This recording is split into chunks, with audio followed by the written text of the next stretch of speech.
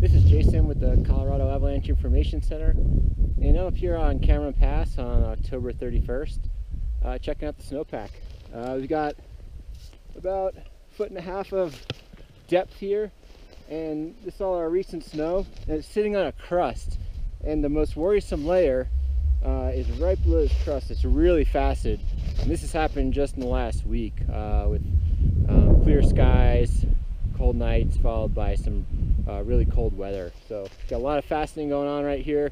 And what I have on top is not much of a slab, so not too worried about this right here.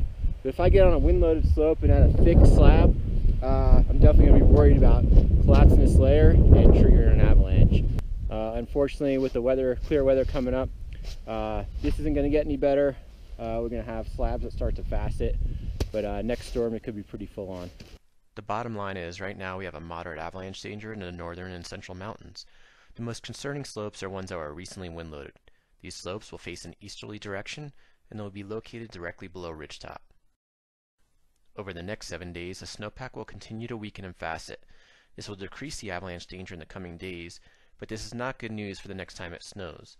We will likely see avalanches during the next storm cycle, as snow falls on a weak snowpack.